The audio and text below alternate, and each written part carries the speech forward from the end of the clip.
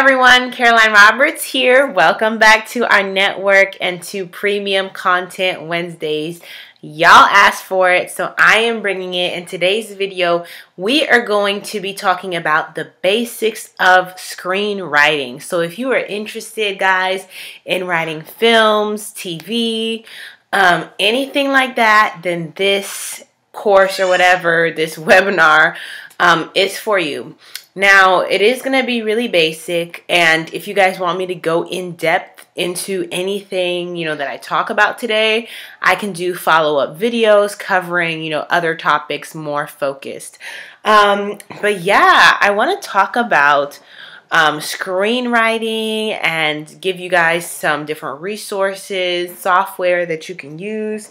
But first off, I want to talk about with the main thing that you want to well, actually, I just feel led to pray. I don't know why, but I feel led to pray, which is good. So let's just open up in prayer.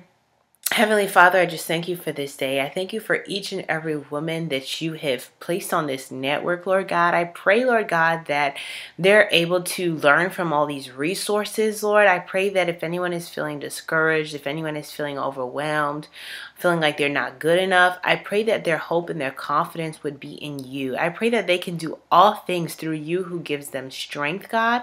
I pray that they would be faithful and committed enough to follow through with their book, their screenplay, their project, whatever it is that you have given them to write, Lord God. I pray that you would strengthen them, Lord God, and that you would be with us during this time of learning and bettering ourselves as writers. In Jesus' name, amen. Amen. All right, guys. So, one of the first things I want to start with with screenwriting is understanding what a log line is and having your log line. So, a log line is kind of going to be like the one sentence or the two sentences that you would use to pitch your script to someone. Have you ever like been on Netflix or whatever provider that you use to like search for movies, Lifetime, whatever it is, and you're like looking through the TV guide and there's like that one or that those two sentences that explains what the movie is going to be about and you decide to choose whether or not based off of those you know sentences if you want to watch that movie or not. That's kind of like a log line but i want to give you guys um, an exact definition that i received online.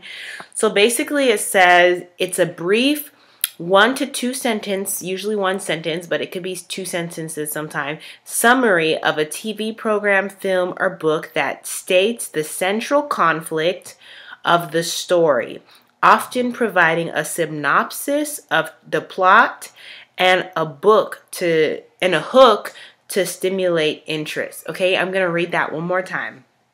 A log line is a brief one sentence sometimes two sentence summary of a TV program, film, um, or book that states the central conflict of the story, often providing a synopsis of the plot and a hook to stimulate interest. Okay, guys, so I I wanted to give you guys examples of really good log lines that have been used and kind of give you an example of how these just just within one sentence or two sentences you basically get the gist of what is the main conflict in the story, what is happening and what, you know, that movie is about. So for the Godfather movie, it basically the log line was the aging patriarch of an organized crime dynasty transfers control of his clandestine empire to his reluctant son. Okay, and one of the ways that they were able to achieve um, such a great log, log line is that they use descriptive words and adjectives so that you can have a better idea of what it's talking about. Because it could have said, that he transfers the control of his empire to his son, right?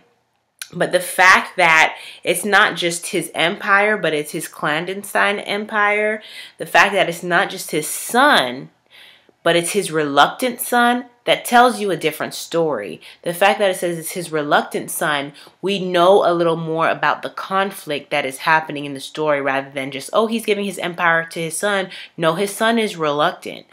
Um, so basically including descript descriptions and adjectives, details like that in your log line will help to tell the story. It doesn't just say, you know, the dad of a dynasty. No, he is aging, aging patriarch. So the aging makes us feel like there's tension there. Like his life, you know, it's about to be up. You know, there's conflict there. Um, it's it's not just a dynasty it's not just a family business it's organized crime so that's like a hook that's like interesting like crime is something that's very interesting that people want to know more about. So that so imagine all of these elements all of these details put together. They chose specific words that make you um interested, that build tension, that reveal the conflict, and all of these working together make an awesome logline. The aging patriarch of an organized crime dynasty transfers control of his clandestine empire to his reluctant son.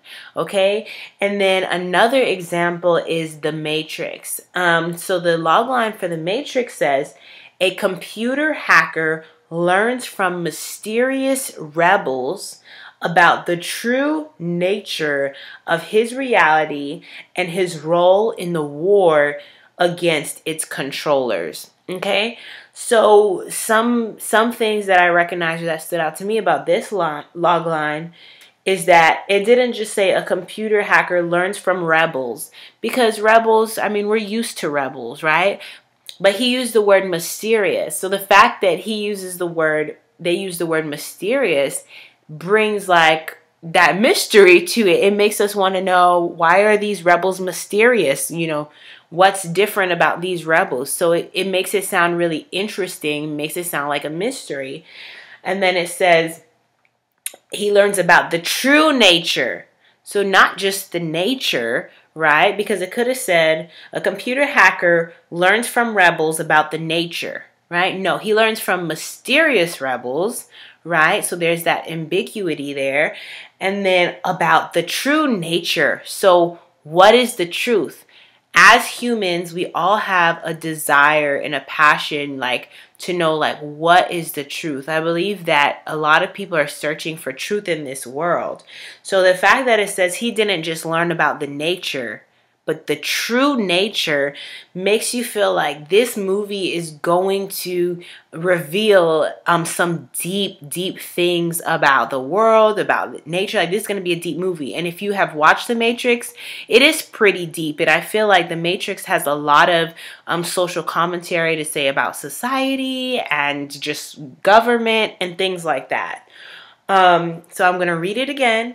A computer hacker learns from mysterious rebels about the true nature of his reality and his role in the war against its controllers. Okay? And then it's like war. So you're like conflict. You're like, who are the controllers? What are they trying to achieve? What are they trying to do or take over? You have that conflict there. So you have mystery, you have conflict, and you have truth. Okay? Those elements work working together make an amazing log line. So those are the things that stood out about the two log lines that I chose. So when it comes to screenwriting and you're thinking of your idea, try to see if you can put together that idea in an awesome log line because a lot of the times, you know, your log line is going to reflect your script and show like how marketable your script would be, especially if you're looking to sell your script or anything like that. They are going to want to know what your log line is, okay? If you ever meet with a producer or anything like that, sometimes they don't have time to read your script. So you have to have your log line memorized on bat and say, you know, this is what my script is about. Okay, I want to talk about um, I also want to talk about beats. So, beats are basically the moments in your script that move the story forward, okay? So, something impactful in your script that matters, meaning that if you took out that part, your your story wouldn't be the same. Your your story would be different if you took out those parts there are certain things from your script or from your story that you can take out and it wouldn't make a big difference. It's just like a minor detail or a minor change. But a beat is a significant part in your story that keeps the story going. Um, so basically, I want to give the exact definition. It says a beat in a screenplay is a moment that propels the story forward and compels the viewer to take stock of what could happen next. Each scene is comprised of many beats. So in a screenplay, your screenplay is made of different scenes, and those scenes comprise of different acts. Acts 1, Act 2, Act 3, Act 4.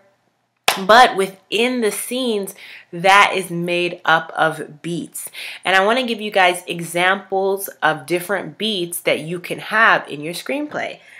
So an example of a beat is an event, for example. If there is a big milestone that happened in that person's life, they had a baby, they had a birthday, they had a loss of a loved one. Those are like events. Like if you even think of your life, think of your own life, your own life story. What are some beats in your life? Like specific times that you can pinpoint that impacted your life. Um, realizations so basically, like realizations are things that make the characters, they have to make a decision, kind of like revelations. Their mind has changed. Their mind is thinking differently because of something that happened. So that changes the course of their the story because it changes the character's perspective. So what are some major realizations, revelations, or things that are happening in your screenplay that are also considered beats? Another one is um, resolution. So what is kind of like if you think of when you think of resolution, kind of like New Year's resolution. So what are some goals? What are some experiments? What are some desires that um, the character has to make a change? Those are beats. Those are causing a change in trajectory of your story. And then the last thing is interactions. Kind of like if you think of your own life, like your your interaction, your first interaction with God, your first interaction with the person you fell in love with, like meeting certain people, or even the character um, interacting with the villain, or whatever it is. What are some major interactions or, or meeting opportunities that are happening between your characters that are comprised that that make up a beat of your story? And a lot of times, in order to um, start a screenplay. This is not necessary, but um, if you want like help with starting and you don't feel like going straight to writing a full screenplay, a lot of writers start with their log lines and they start by creating a beat sheet. Okay, so a beat sheet, kind of like when you think of writing a manuscript and you have an outline, a beat sheet is like the outline of screenwriting. So basically, you would separate your acts and then you would write the beats within each act. A screenplay is made up of these main elements, I would say. It's made up of action lines. So, what is the action? What is happening, what movement is taking place, is made up of the dialogue. So, what are people saying? What are the conversations that are happening? It's made up of scene headings. So, where are these things taking place? What time are these things taking place? Where are the scenes located? And it's also made up of the characters. So, introduction, introducing the characters, um, letting us know more about them those four elements, like if you have those, those are the bulk, like the the bones of your screenplay. Action lines, dialogue, scene headings, and you know, character introductions or introducing your characters. Okay, guys, and I also want to go back to if you do want to learn how to do a beat sheet and have an example, there is a book called Save the Cat. Okay, Save the Cat is a book all about writing beats, beat sheets. Um, I don't have that book personally, but my, I know my friend had it and she studied it and she loved it. The book that I do have is the Screenwriter's Bible, and I love it. But it, it really shows you like how to write your screenplay. Like it has a full screenplay example in here. It tells you about how to implement all the transitions flashbacks um what is another thing? Everything. Everything that could be a part of a screenplay like sound effects um, all those things it tells you how to implement that in here. So i will put the link below of where you can purchase those things from guys. Um let me see what else did i want to say. So i i actually recently i'm working on a script right now um and i'm not completed with it but i did i did finish writing it but when i say i'm not completed with it is I need to still go back and edit and make some changes and stuff, but I want to share the screen um, play software that I'm currently using. One of the best ones is Final Draft Pro, um, but that's a little pricey. So I, at this time, I'm using Celtx, which I think is just as good or it's really good, but it's cheaper. And I think that they also have a free version that you can try as well. But I just want to show you guys an example of basically what I was saying with everything that is that comprises of a screenplay, okay? So let's go into my Celtx. Um, so this is the screenplay that I'm currently working on, right? So, oh, and I also wanted to say just about screenwriting. Screenwriting is different than writing like a narrative story, right? Um, with screenwriting, it's all about what you see because it's going to be on screen. It's going to be visual. So you have to be very descriptive in how you want things to look. And you also have to, and you have to be like literal, like literally how you want it to look, not metaphorically, because uh, the movie is not metaphorical. The movie is going to be real. And also, you want to speak in active voice, not passive voice. You want to speak in active voice. And I'm going to show you an example of what I mean. Um, but let's go to Celtx. And okay, fade in. So that's what I'm talking about. Like, this is what I want to happen when the movie is starting or when the show is starting. Fade in. And then this is the scene heading. If you see um, this is the scene heading right here. And it says external. EXT stands for external. So with your scene headings in screenwriting, you're either going to start with internal, meaning that the scene is taking place somewhere indoors, in a library, in a house, you know, in the gym, or it's taking place external, in the backyard, um, where else? At the beach, at the park. Those are external. So it's either going to be ext dot or int dot. And you want to get screenwriting software because it already has these like formulas integrated into it. So it'll help lead you in writing it. Okay. So I have external. I said it's taking place on the college university lawn and then dash day. So you have to put is it daytime or is it um, nighttime? So it's either day or night. It's not afternoon. It's not midday. It's not dawn. It's either day or night, okay? Um, because when you write, when you show the movie, it's not going to matter like the specific time of day. It's either going to be bright outside or it's going to be dark outside. Um, so just stick to internal and external, day or night, and then the description of the place. Okay, so let me go back to it.